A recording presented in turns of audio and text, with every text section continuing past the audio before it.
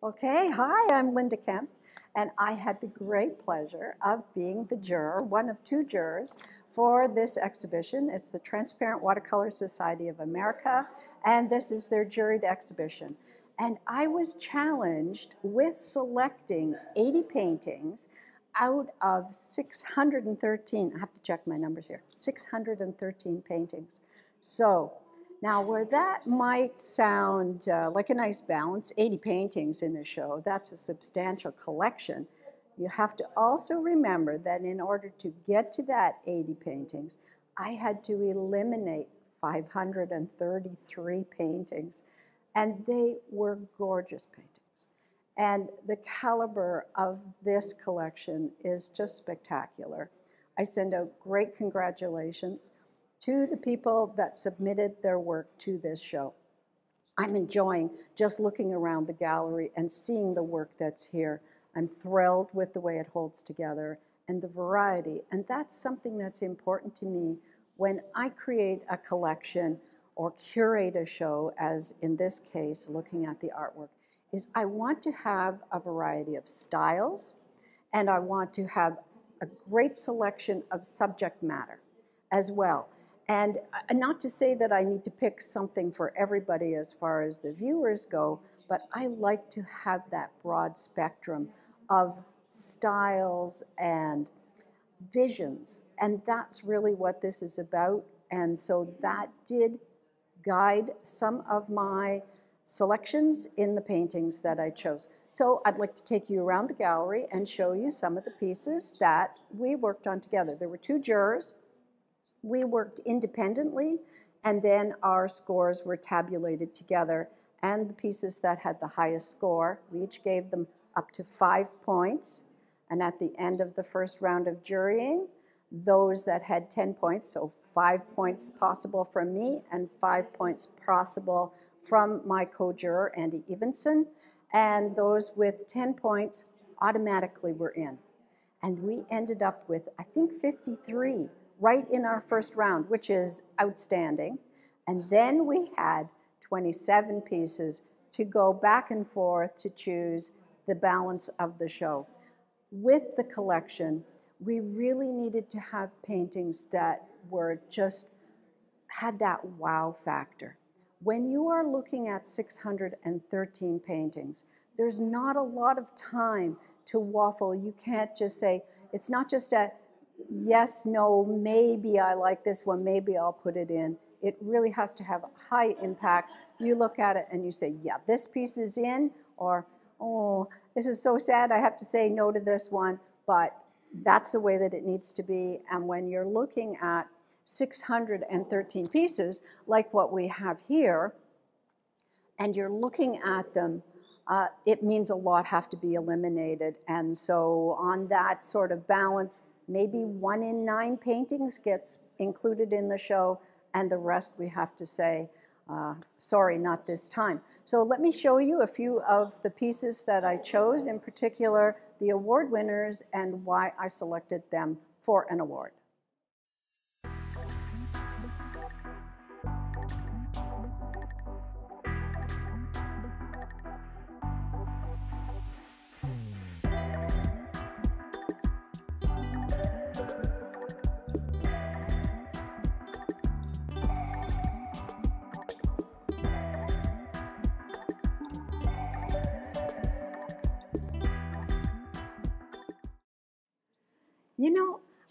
Just, I love this piece. And I have the great privilege of jurying a, a, lot of shows. And, and that is just such a joy. And, and I appreciate that. And because of our times that we're in right now and how people are affected by COVID and what's that is doing in our lives, there are very often paintings that are submitted that feature something about uh, COVID or, or the wearing of masks. And that is something that I see quite a bit. And, and certainly it's very moving to people. And very often in those paintings, they're, they're quite sad and sentimental. And you see um, sorrow in people's faces. Um, sometimes it's, it's, they feel lonely and so on. But this particular piece because of the mask that's on, on our figure, um, we know it, we know there's a time to this. It's set in history. We know when this is done. And in many, many years in the future, you can look at this piece and you know this was done during COVID times and it, it gives us that sense of, of um, when it was painted. But there's not a sorrow in this piece. It's still very joyous as the person is posing beside the portrait. I love that positioning, the fact that the, the, the subject is looking at us, there's a conversation going on, and I think it is really a spectacular piece. And I just, I love this, and it was very, very moving to see it. And I, I just think this is um, something special. So congratulations for Woman Wearing, with a Mask. Woman with a Mask. It's gorgeous painting.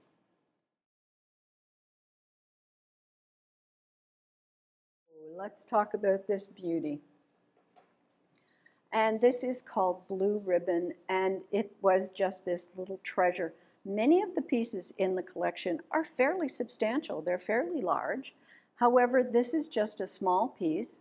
Uh, for watercolor painters, you know it's actually less than a quarter sheet here. It's, it's um, uh, just a little treasure. And it is called Blue Ribbon.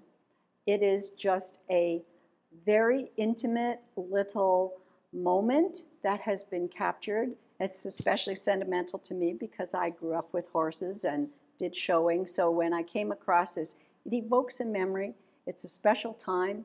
And the painter has been very direct with the color. It's just applied, nice brush work, nice and loose and fresh.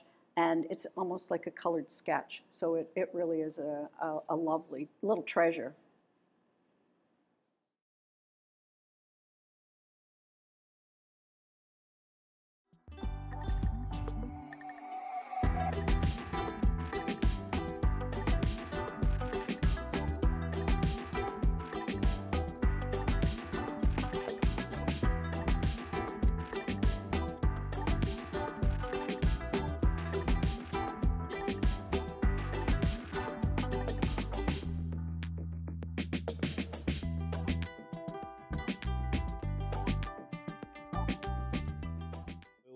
Painting here, Wave 2.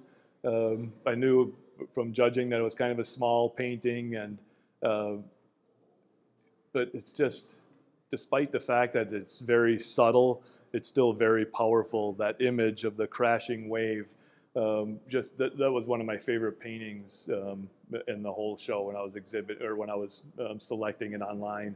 Uh, I wasn't sure it would make it in, so I'm very happy to see it in here and um, represented in TWSA because it's um, it's not often that you see something um, just kind of a simple, powerful image like that with a lot of subtlety in it. Unfortunately, you know, a lot of these big shows are kind of dominated by big, you know, much more splashier um, paintings. So um, I, I really appreciate how difficult that painting must have been to create. Um, again, the value difference, even the, the darkest darks is like a middle value in a lot of my paintings.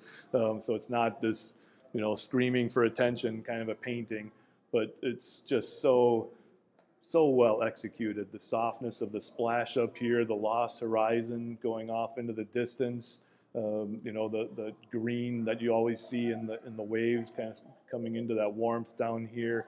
Um, just making a star of the show out of a, of a big breaking wave, I think, was a very bold thing to do. Um, and, you know, in general, I always kind of complain about the need to put little birds and things into paintings all the time. But in this case, I think those little seagulls added quite a bit. Um, they're not overdone, again, subtle, just little touches of those birds up flying up above um, added a lot. So congratulations to Lilia. I think that's such a beautiful, beautiful painting. Um,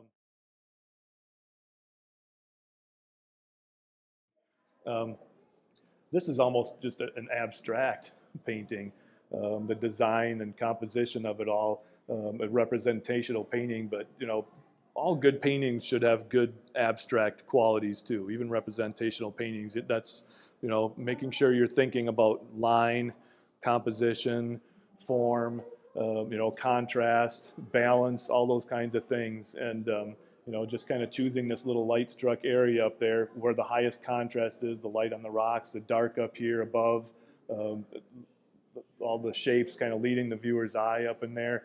Very wonderfully designed and executed painting. I like that one a lot. Beautiful colors.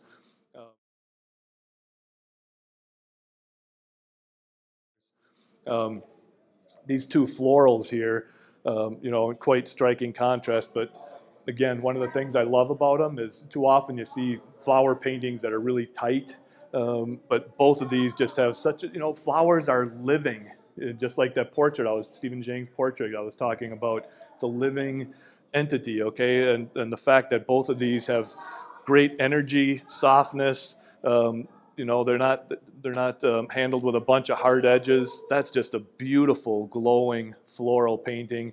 And again, um, you know, this, it's incredible the confidence and skill it takes to paint something like that. That with that much energy, you know, these these were not masked out. Those, those, those interesting negative shapes were, were painted around. That's why I was having us practice negative shapes before, the importance of that, okay? All of these interesting little white shapes that they have in there created. Um, it's not something that you can, you can plan ahead for a little bit, but so much of it is just the energy of executing that painting rapidly and confidently and not having to go in and fix edges of shapes, okay? Um, so it's exciting to see a floral painting with that much energy in the show.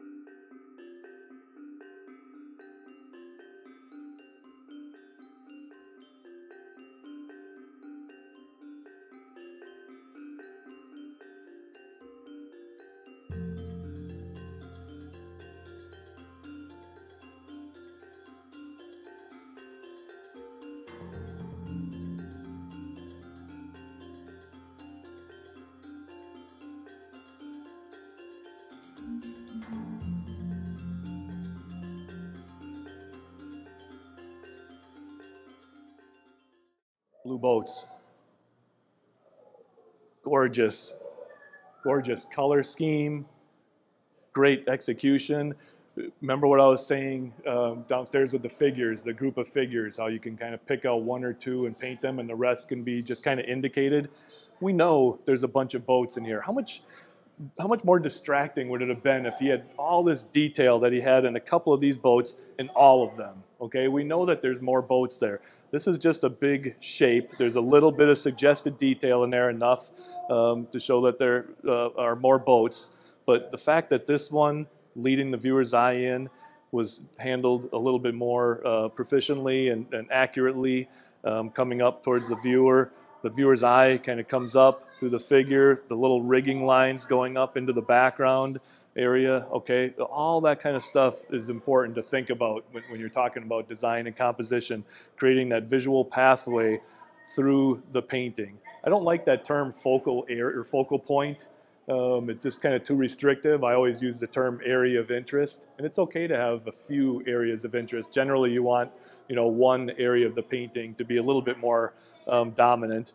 But I, I like the more of an idea of a pathway through the whole painting that the viewer can kind of follow to, and start to see little areas um, the more you explore. Obviously, when you look at this, you go right to this gentleman um, over the boat here, but there's a lot of beautiful little interesting shapes that these two figures are so well handled um, and executed. And even these little shapes up here, the shape of that boat, one quick little dry brush stroke for the edge of that boat. Again, you can't do that slowly and, and get that kind of a mark that's just confidence and execution, being able to do that. Same as all these little rigging lines, being able to get those in there. So that's a beautiful painting.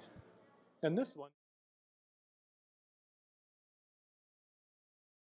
And this one too. I mean, that's again the, the stories that kind of take place. I wish I wish everyone one of these paintings came with, you know, a page, what the you know describing what the the artist was thinking about or the story because it's hard it's difficult sometimes for us as a viewer. We appreciate the beauty of it all but this one just feels like there's some kind of a mysterious background story to it that we don't know. But that lends to the charm of the painting i think you know? It makes you take a little deeper dive when you're looking at it and try and understand what this lady is feeling uh, what's happening in her life. Beautiful painting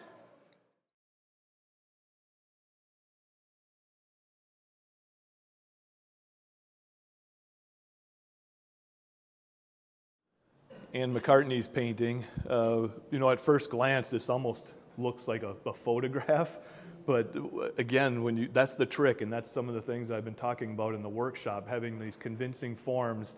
And remember how I'm always saying, you know, they need to read well from far away. So from where you're standing, that almost looks like a photograph.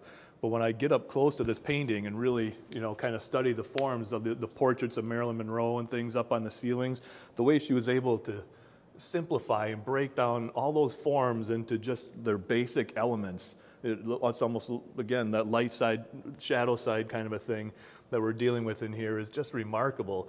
Um, one of my favorite British painters, John Yardley, does these interiors, and I'm always commenting about how much I love the the paintings of paintings that he does in the interiors and how he handles them. So you know it's an oil painting it's either a landscape or a portrait but when you look at it there's not that much detail. And it's the same thing the way she handled all this um, chaos on the board behind the bartender here is pretty remarkable. I love that. It all holds together. Together. And then you know continuing with the theme of light side shadow side um, this painting here just really, look at all the information is in that one little bit of rim light on these figures. That's, that's incredible. We get a sense of the, the age of these people, you know, what their personality is, what they're, they're doing at this time. And 90% of those figures is just the shadow side, the color side. So that, that little bit of rim light, you know, on those figures, um, once again, just kind of talking about that importance. Remember what I was saying, that little uh, anecdote about the power of the silhouette that I told you before. You know, we, my wife and I could see, pick out our kids in the art project just by the shape of their head. Um, so, you know, just being bold enough to not feel the need to come in there and put more texture in those shadow areas. Um, you know, that's really important. In, in, general, when you're working on paintings, you want to have, um, you know, the focus either in the light or the shadow. Okay, and in general, the shadow areas are usually um, a little more vague. You know, uh, again, in general, sometimes if it's a really bright, strong light that's like blinding light and washing out the detail in the sunlight, you're going to have more interest in the shadow area as a result. But um, it's really important to kind of keep the focus on one or the other. And the, all the little bits of detail and color and things are in the, the little bit of rim light on these figures. And then again, that big, beautiful, luminous wash. And, and you know, somebody asked me before, earlier in the workshop, you know, do you always just use, you know, dark Payne's gray or something for your darks? No, you, there's color in darks, okay? And this is an incredible example of how you can go really dark with things, but it doesn't have to, it's not even approaching black, okay? Uh, that's a, an amazing painting. I love that, the luminosity, very well executed.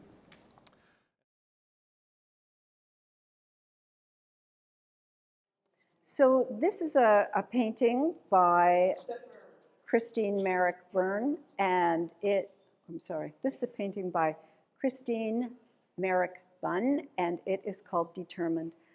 And you can just see, even though there's not a lot of time spent on getting all the details perfect in the face, there's such a look in the character. The head is down, you're walking, and we can feel the coldness. We know that this person is headed in a direction, something is on their mind, and they are focused on getting somewhere and achieving something. And it's, it's just lovely. The colors that are used in the snow are wonderful. So often we think about snow being white, but when you look at this, you see how much color the artist has included in the piece in order to get that feeling of light and shadow. It's, it's a beautiful piece. And I just love the posture and that, that feeling that so many of us have experienced where we're, we've got something on our mind and we're moving in a direction, and that's where it is.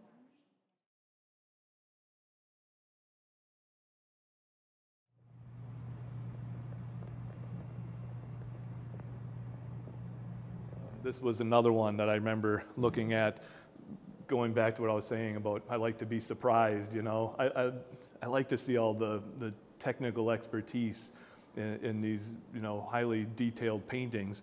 Uh, but, you know, the, the, subject that this artist chose here was just so unique. And um, again, you know, living in Wisconsin, growing up in Wisconsin and living in Minnesota, something we're all familiar with. But um, it, it just amazes me how it feels like you could just you know, crunch that and hear, hear the sound of the, the leaves on those corn stalks um, crunching underneath you. And the color choices are beautiful. Um, the design and the composition is gorgeous, you know, kind of focusing on uh, not having too much of the corn cobs themselves. I like the fact that they focused on this part of the corn cob and not all the kernels. There's enough of it, obviously, to, to add the visual interest, but it's almost like they're just falling off the bottom of the page, you know. That's gorgeous, really beautiful painting.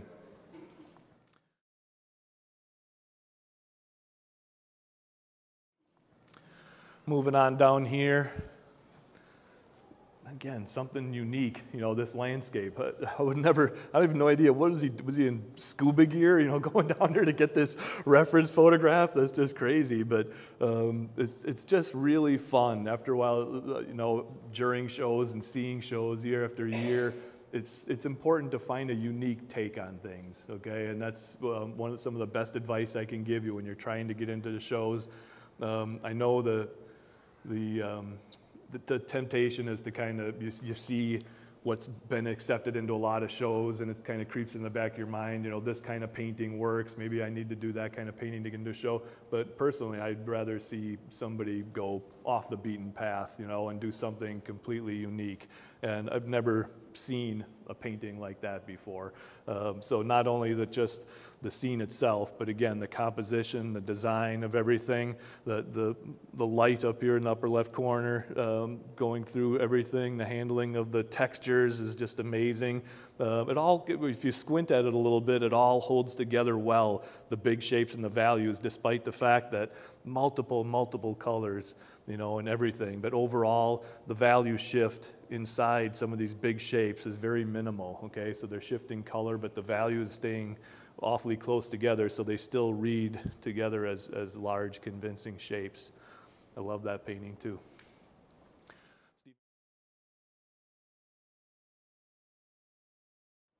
Stephen Zhang's portrait.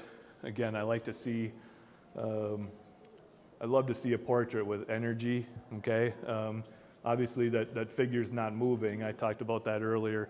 You know, when you have people in your landscapes, how important it is to make sure they don't look stiff. Um, but this guy's just sitting for a portrait and he still looks like he's a living, breathing human being, okay? Just because of the energy of the brushstrokes. That, that painting is just incredible. Nothing is tight and overworked. I mean, you, obviously, you go right down to the the handling of the sweater and the fabric and, and the hat and the background and everything as far as the big brushstrokes. But when you look even in the face, there's energy in all those little um, smaller shapes as well. Um, that's just uh, really a beautiful, glowing portrait. Um, and the fact that all the warmth is up there around his face. uh, pay attention to, that's another thing, um, flesh tone, okay? Uh, how people just kind of go way too pale with things all the time. Look at the value and the color in the neck area, especially of this, this guy's chin. And we know it's the same, you know, obviously the same kind of warm, sun-baked skin as you have up there in the light. But that value contrast and having the, the guts to go that bold and dark and colorful in the shadow area under the chin, that's what makes that painting pop, okay? If you don't go that strong in some of these areas, that light isn't gonna be as effective up above. Really gorgeous work. Man, I wish I could paint like that.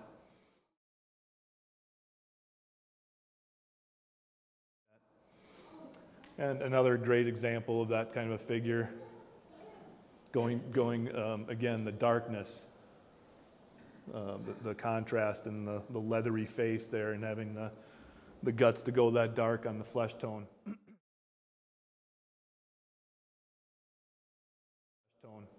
Speaking of guts, you know, how many of us would have a composition where there's just a big branch going right across the front of the composition, you know, but uh, in a way that's, that's really important to show depth. It's hard to visualize what that painting would look like without it because it's so dominant in there.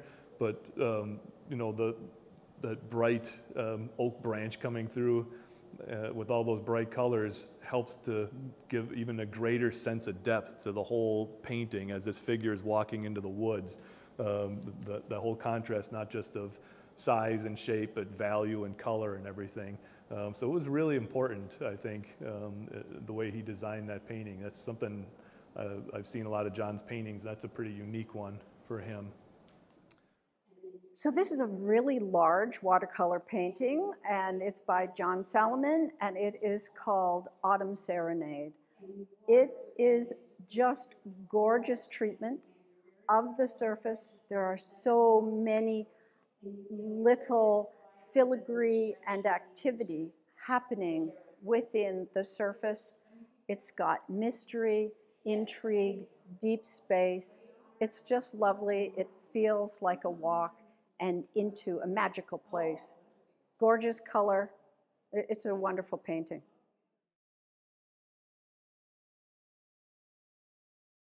Um, and this painting as well, um, I can't imagine the, the time that went into creating this painting. Um, and again, the guts, I would have been, the temptation would have been for me to just kind of leave a lot of that empty. But the fact that um, even despite all the detail work in here, um, it's still working fine because of the, the color choice, okay? Making sure all the, the, the bright colors is on the figure. And, um, you know, it's really a, a, painting about pattern and shape um, and design. And, um, yeah, all the, making sure that the, all the perspective of these rocks are going up towards our figure here. But um, really impressive. And oh my goodness, looking at that crown up close, I didn't have a chance to do that online either wow, that's my favorite part of the painting. If you get a chance later, come up and look up close at that. The colors right in here are just amazing in that little shadow area. And that's going back to what I was talking about. This, you know, a lot of these areas are, are tighter, obviously, in small little um, bits of color. But those exercises that we were doing downstairs, where you're just kind of changing the color on your brush to paint that shadow shape, that's, that's what I'm seeing up there. I just love that. Wow.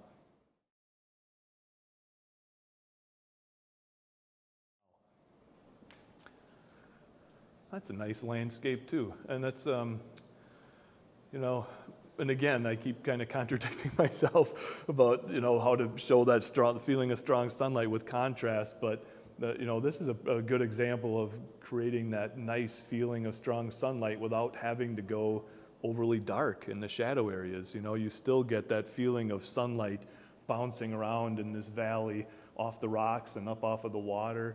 Um, so, and, and I love the little misty you know, that little vagueness coming down here into the trees, creating some of those lost edges.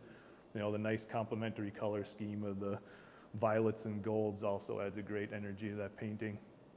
But um, this is an example of what I was talking about before.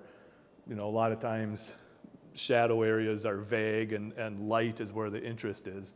In this particular painting, there's not much interest in the light. The sky is kind of a washed out blue. The rocks are kind of all washed out because the sunlight is so strong. All the interest is in the shadow area in this one. So it was important in this case that they didn't have a lot of you know color and interest in, in the light area. It all would have been competing for attention. So this is an, a good example of making the shadow area the star of the show and not the, the light area of the painting.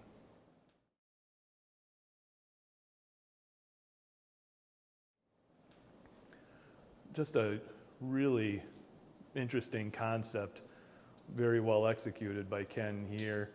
Um, you know, a figure painting, but a, a figure in motion, um, trying to capture that figure going through. It's just got so much mystery to it. The the surroundings of the ballerina. What is this ballerina doing in a in an abbey at midnight? You know, bouncing through. Um, again, trying to find something unique to say and a unique way of presenting it.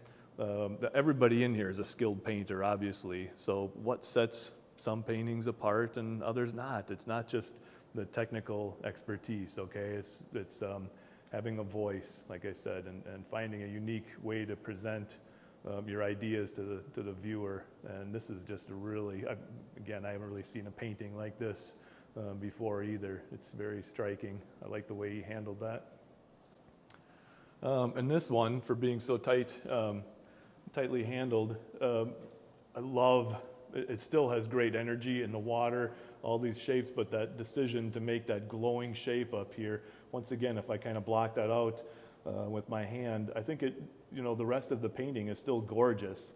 Um, but that decision to make that bright sunlight glowing up there to kind of offset the, the figure a little bit, as, and then obviously reflected down below, um, was a really gutsy choice and made a big difference, I think, in, that, in the execution of that painting overall.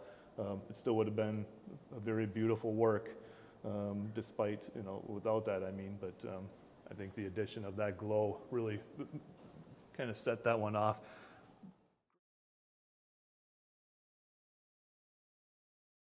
Okay, so this particular painting, it's called Blue Butterflies. It is exquisite. And because we're working quickly in order to go through 630 paintings, uh, you don't have very long to look at each painting to say yes or no to it. I have just not had enough time to look at this painting. Not to say that I didn't look at it for a long time, but I could look at this painting for, for ages. There is so much to see here. There are so many beautiful things happening in the design, in the exquisite flesh tones, the character, there's mystery going on here, and it's, it's truly a magical piece, and I just love it. I think it's a, a, a beautiful little painting. It's a, it's a beautiful painting, just wonderful.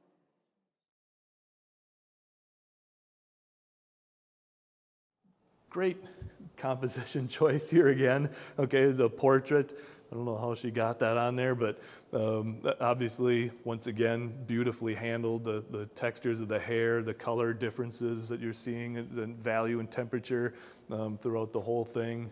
But um, the, the fact that um, she kind of chose that composition choice and, uh, and design uh, really makes a difference in that one, too.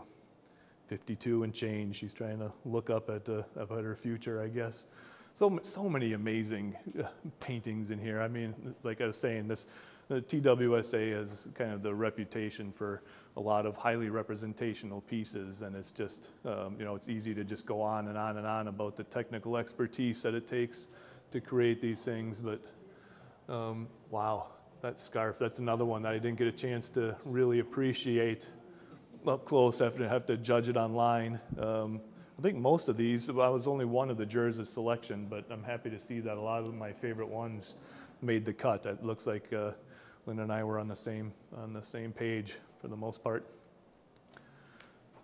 This is really interesting too. Uh, the, the decision to kind of leave the background white, make these uh, these strong figures. You know, they're, they're trying to present this look of these two strong young ladies staring at the viewer kind of front and center on there, skateboard in hand. I like that too, the Zoltan Szabo Award, Scott. I don't know how you pronounce his last name. Anybody know? Ponamone? Ponamone? Yeah, nice works.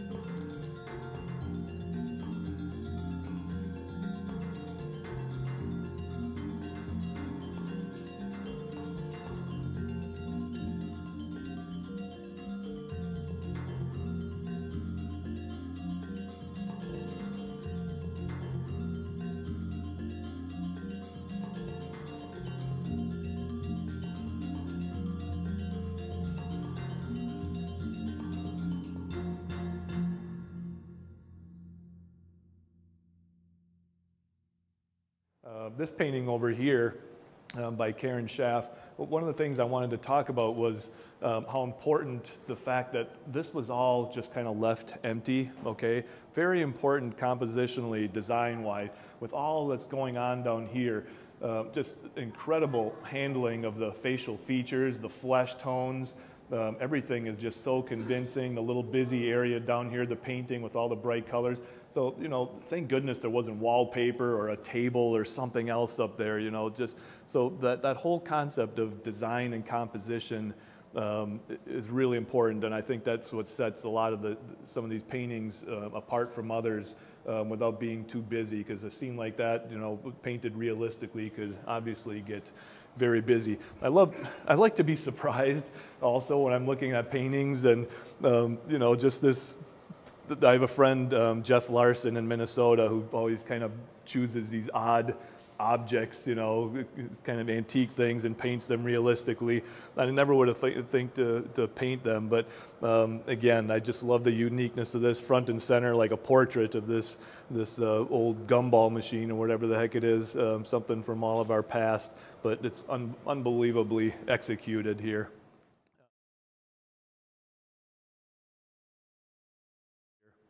Um, one of my favorite of all the paintings when I looked at them was um, this one with the, the album covers. It just, I, I was just stunned at how realistically they handled all these torn edges of the album. I mean, just coming up to this and being able to see it in person, unfortunately, you know, judging the show online, I could zoom in a little bit, but um, coming in here and actually being able to see the size of this painting and, and what a fabulous job this artist did of, of making, again, you know, kind of a surprise. I like, you know, it's not just fruit and things on a table, you know, as far as a still life.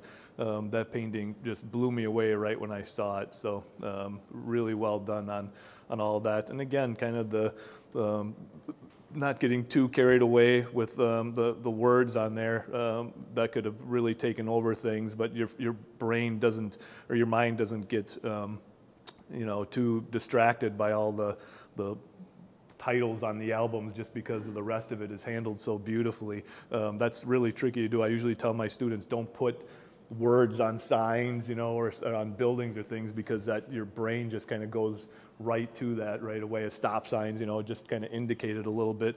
But the fact that this artist was able to really put the names on all those albums and it doesn't bother me at all, again, just speaks to how well the, the rest of the painting was executed.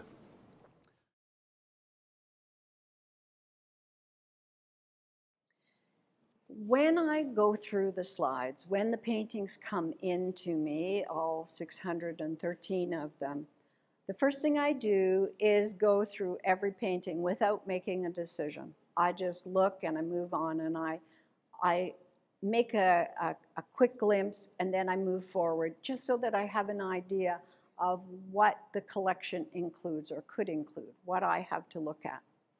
And as I'm looking through them, um, I move quite rapidly through, and then I take a break.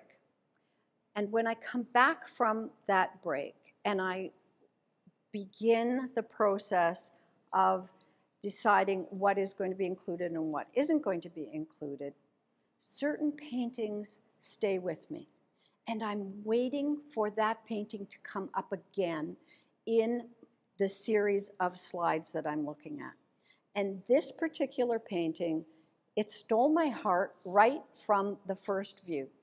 And when I went back through the slides, I couldn't wait for this to come back again so that I could spend time looking at it and I could say yes to this piece.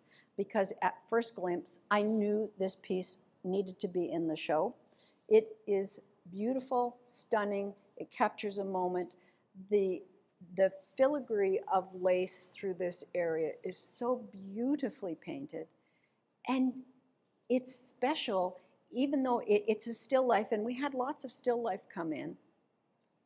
And to catch me off guard with a still life by putting in an element that's a surprise or something different, something personal in the still life is really what captures my heart. And in this case, We've got all these wonderful bottles and glass, but it's this little wren that's in here that is just so delightful and it does feel magical. And so that is why I chose Emerald City by Mary Jansen for a very special award. And I, I just love it. I think it's, it's exquisite. Beautiful piece.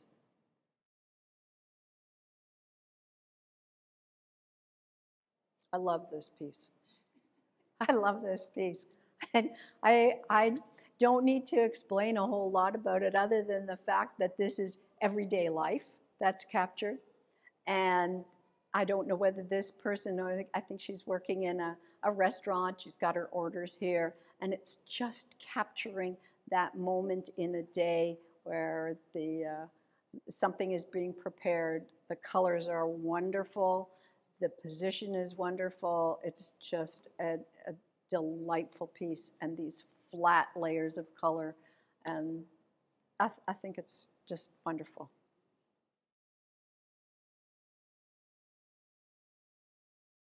All of these pieces are so spectacular, and it's difficult to walk by and not want to talk about each and every one of them because every piece in this collection deserves to be here. As does a number of paintings that unfortunately were not able to be included just because my job was to reduce the number of 613 down to 80. And so I really had to look at the pieces and say, oh wow, this is just spectacular. It had to be more than just thinking it's a good painting or even a great painting. It had to have that wow factor that, that I just didn't want to turn it away. And I did have to turn away a number of really wonderful pieces. And I'll tell you, the last 10 pieces that I had to say sorry, not this time to, that hurts to have to, to not be able to put them in because I know how hard artists work to prepare and put their heart and soul into a painting that they know is a good painting. I had the pleasure of talking to uh, Dean Mitchell, who won the top award. This is called Dancing Shadows. And we talked about that feeling of when you when you know that a piece is there, when it is complete, when it has achieved that special feeling that you're after, and it just sits right, and you are excited to enter it into an exhibition and have the opportunity to present it. So this particular piece is just mesmerizing the color combination, the lightness of touch, the exquisite play of value, and the sunlit feeling that's on the building and capture of a little bit of color. So we've got a lot of neutral colors going in, but there's little hits of pure color here and there that absolutely sing. And it just makes it an exquisite piece. And I was thrilled to be able to see it and to be able to give it this award um, I, I think is wonderful. And so congratulations to everybody who had their pieces accepted in the show and to the people that unfortunately were not included. It doesn't mean that your piece wasn't wonderful and that I didn't love it. It's just I couldn't include them all. And so we had to make this balance between pieces that have a variety of style, a variety of subject matter, and something that's unique and truly special, something that has sticks with you and you want to see it again. So I hope you come to the show and see the show and see what we saw and and maybe you'll love something that I've chosen and there'll be others that you look and say, oh, I wonder why she picked that or Andy picked that. And uh, so that's that's all part of what art is about. So thank you very much. It was great to be able to jury the show.